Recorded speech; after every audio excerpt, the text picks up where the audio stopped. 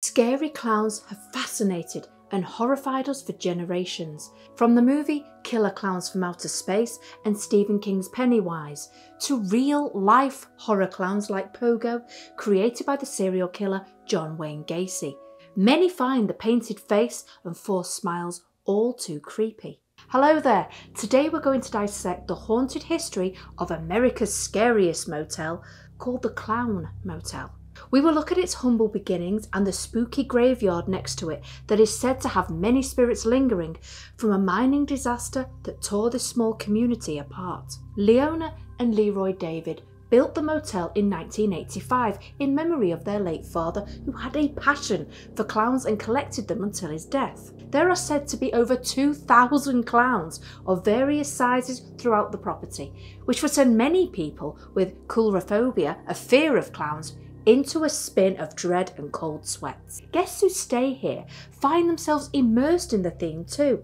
As you walk into the motel, you are greeted with dolls and teddy bears dressed in a variety of bold colours, with staff also joining in with the theme by wearing clownish makeup. The motel is situated in a former mining town that has a very dark history. You see, once there were said to be more than 50,000 people living in Tonopah, but when the silver mines closed, that number dropped to around 2,500. At the centre of all the ghostly hauntings at the Clown Motel is the Tonopah Cemetery, situated right next door.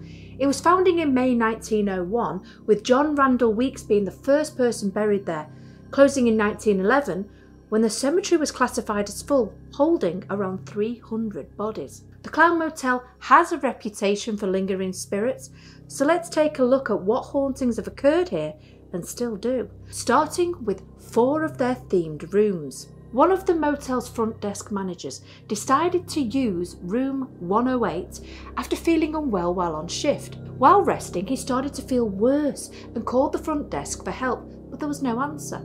Becoming alarmed, he rang his sister who dialed 911, but sadly he died on his way to the hospital. Now, wanting to find out answers, the front desk agent was questioned about why they never answered the call, but they said the phone never rang, even backing this claim up with video surveillance footage which clearly showed the phone didn't ring. This room nowadays has a horror theme, which is the Stephen King movie It. Was something stopping his call from being answered? Did a supernatural entity interfere? Now, in room 111, the story goes that a terminally ill man came to live out his last days here after deciding he didn't want to be a burden to his family. Every night he would go to sleep, believing he would never wake again, but always did. He later told motel staff that in the early hours of each morning there would be a dark shadow looming in the corner of his room, as if waiting to grab his soul. The man claimed he begged the entity to take him, but was denied. Now, knowing he was dying and desperate for it all to be over, the poor guy shot himself in the motel's car park. If you decide to stay in this room nowadays, though, you will find the theme to be The Exorcist, which, with a looming shadow said to haunt here, makes it a stay for the brave amongst us. On the second floor in room 210, a guy from Arizona stayed after suffering from excruciating back pain, something he'd struggled with for many years. Now, we'd never been able to find something that eased the pain, and there was no medical diagnosis as to what was causing his issues. He stayed at the Clown Motel and miraculously awoke the next morning practically free from pain. Call it the actions of a desperate man, but he decided to live at the motel from then on, thinking that something inside the property was helping to relieve his condition. It's said that he never had any severe pain again and died in that very room six years later.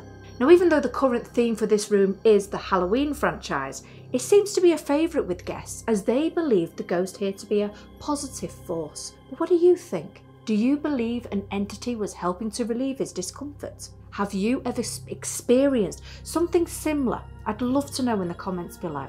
Then a close friend of Texas billionaire Howard Hughes decided to stay in room 214. Melvin Dummar had only meant to stay for one night, but this turned into three years. It's thought that a spirit that haunts the room took a shine to Melvin and even after him leaving, still visits in the hope that he'll return. Guests have experienced lights being turned on and off and their personal belongings either going missing or being hidden.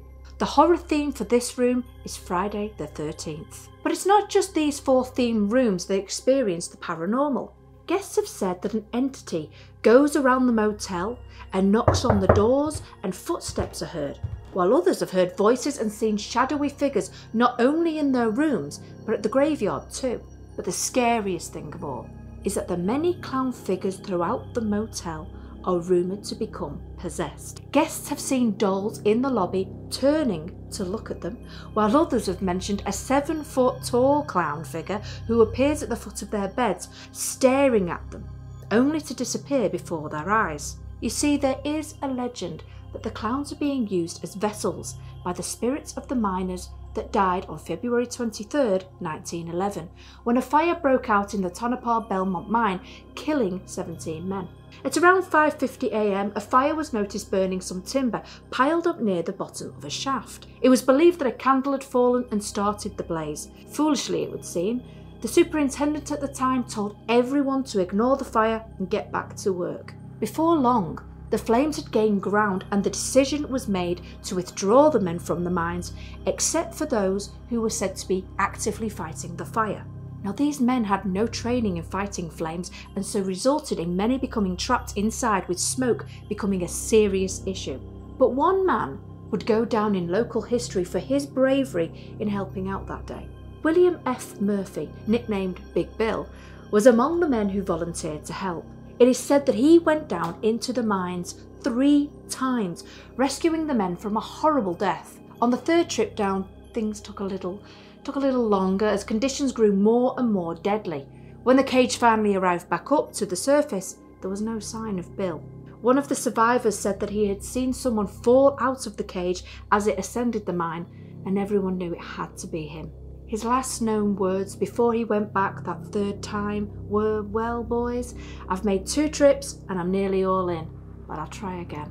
The brave man has a monument dedicated to him which stands outside the Tonopah post office. So, as you can see, there's been lots of turmoil and horror in this small town, which makes no surprise that many of the dead might have unfinished business or feel aggrieved at the way they died.